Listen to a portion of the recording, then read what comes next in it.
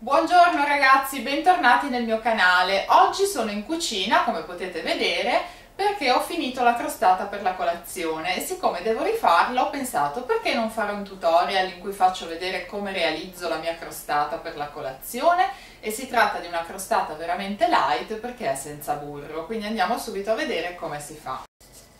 Per realizzare la nostra crostata abbiamo bisogno di 3 etti di farina, 100 g di zucchero,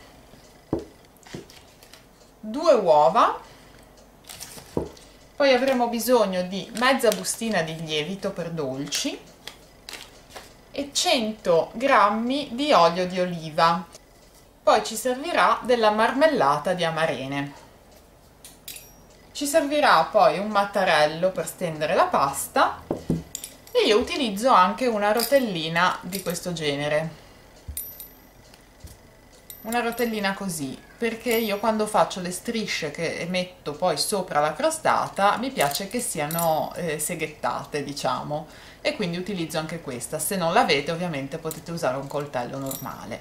Iniziamo subito con la preparazione della crostata e andiamo ad unire lo zucchero con le uova. Quindi versiamo lo zucchero e poi aggiungiamo le uova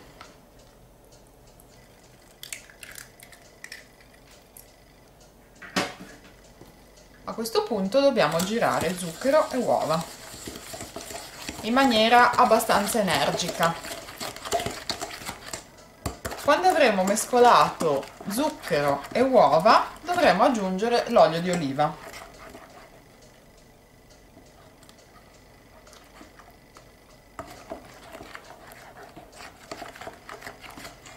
A questo punto dobbiamo aggiungere la mezza bustina di lievito per dolci mi raccomando che sia lievito per dolci e non lievito per il pane. Mezza bustina.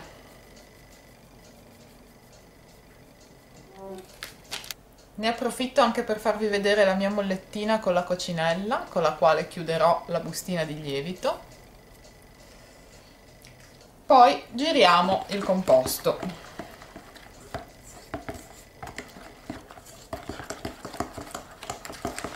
Quando avrete raggiunto un composto privo di grumi e ben amalgamato, dovrete aggiungere la farina a pioggia e girarla molto lentamente. E giriamo molto lentamente. Continuiamo a girare, come potete vedere, vedete che è già eh, comunque abbastanza solido, poi finiremo di impastarlo ovviamente con le mani però il primo impasto io preferisco farlo così. È molto più veloce e molto più comodo.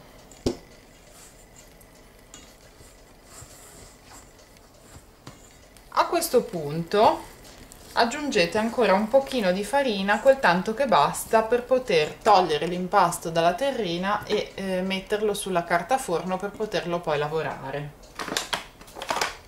Quindi aggiungete poca farina lo girate ancora un attimo. Versate il vostro impasto sulla carta forno. In questo modo. A questo punto cominciamo a lavorare l'impasto a mano. Quindi versiamo della farina perché ovviamente deve essere un impasto che non si attacca poi alla carta. Quindi dovete cercare di renderlo il più possibile eh, morbido ma anche il più possibile lavorabile. Questa è una pasta frolla molto molto morbida quindi anche senza l'utilizzo del burro potrete ottenere esattamente lo stesso risultato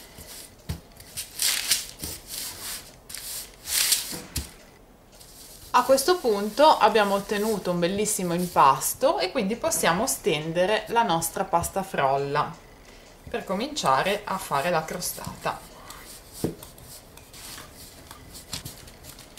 Non esagerate mai troppo con la farina, però insomma potete utilizzarla perché il mattarello potrebbe attaccarsi.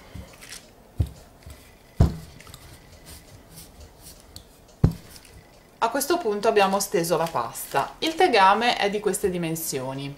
quindi io di solito faccio così lo giro lo giro al contrario lo metto sulla pasta stesa e calcolo ovviamente un pochino di bordo quindi poi vado con la rotellina a tagliare intorno al tegame ovviamente lasciando più o meno un centimetro di bordo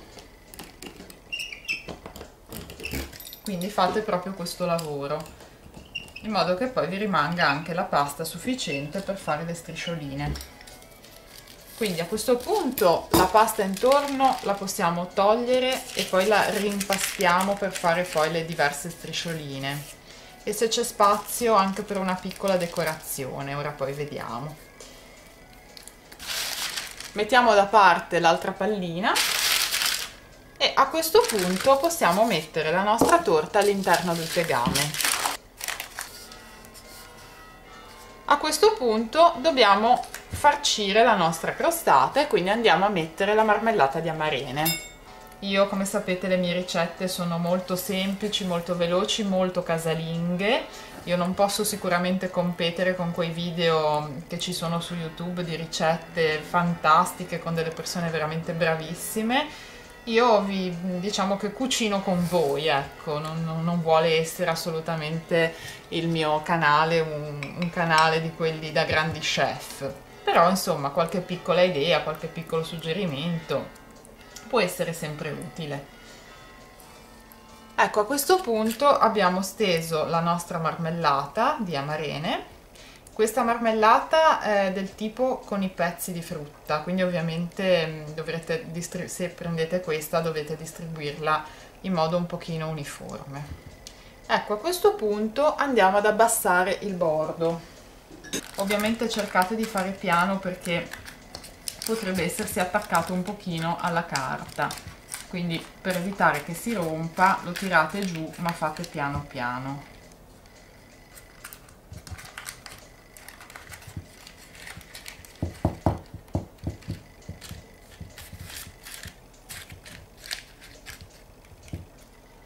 Ecco, a questo punto dobbiamo fare le strisce da mettere sopra la nostra crostata.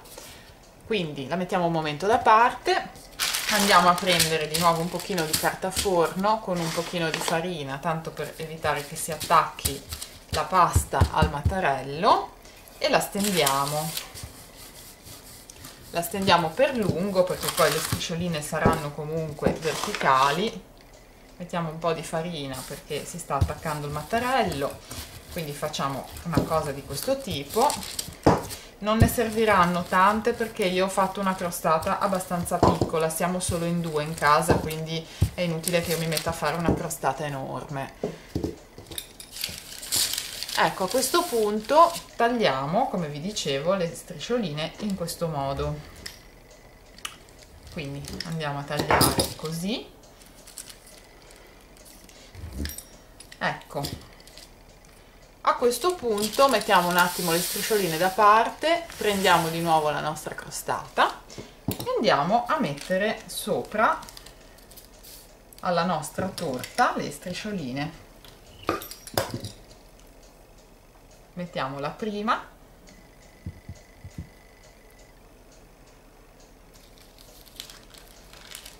mettiamo la seconda poi dipende se vi piace che sia più o meno farcita di, di, pasta, diciamo così, quindi quello poi sta a voi sceglierlo. Io ne metto un pochino di più perché mi piace che sia insomma abbastanza ricca. E poi dall'altro verso, quindi metteremo così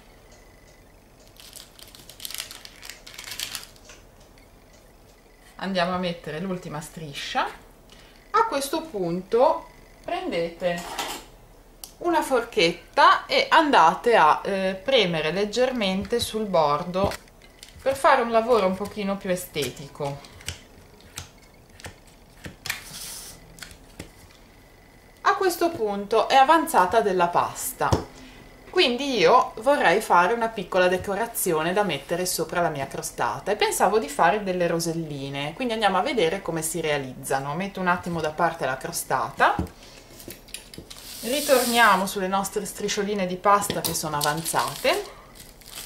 E andiamo a realizzare delle piccole roselline. Questa volta ovviamente le striscioline che ci serviranno saranno molto molto più, eh, più piccole quindi non è il caso di stenderla troppo ecco. la possiamo anche piegare così in modo poi da avere una, una stesura della pasta abbastanza uniforme e di una misura che insomma possa andare bene a questo punto cosa facciamo? Andiamo a tagliare di nuovo delle strisce, questa volta io ne farei tre. Facciamo in questo La rosellina di pasta è sufficiente arrotolare la strisciolina su se stessa mantenendo pari la base. Quindi in questo modo tenete la base ferma e arrotolate la pasta in questo modo.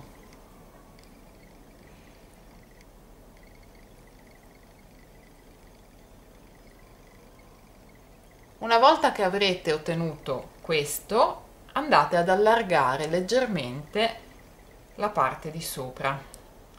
E vedete che avete ottenuto un fiore che io andrò a posizionare al centro della mia crostata. In questo modo qua.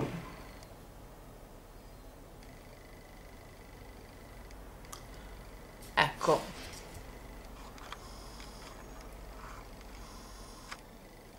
Ovviamente quando avanza la pasta si possono fare tante cose ad esempio adesso a me ne è avanzata ancora un po' e io pensavo di fare un'altra cosa. Pensavo di fare delle piccole palline di pasta da andare poi a mettere tutto intorno alla nostra crostata. Quindi realizziamo delle piccole palline di pasta in questo modo. Quindi le andiamo a posizionare sulla crostata. Io le andrei a mettere sul bordo. Quindi così semplicemente appoggiate sui bordi. Fate prima i quattro bordi in modo che venga una cosa diciamo più uniforme possibile. Ci sono le ultime due quindi le posizioniamo così. E questo è il risultato finale della nostra crostata. A questo punto la nostra crostata è pronta per essere infornata. La mettete a 180 gradi per 25-30 minuti questo è il risultato della crostata che abbiamo fatto appena sfornata, vi assicuro che ha un ottimo profumo.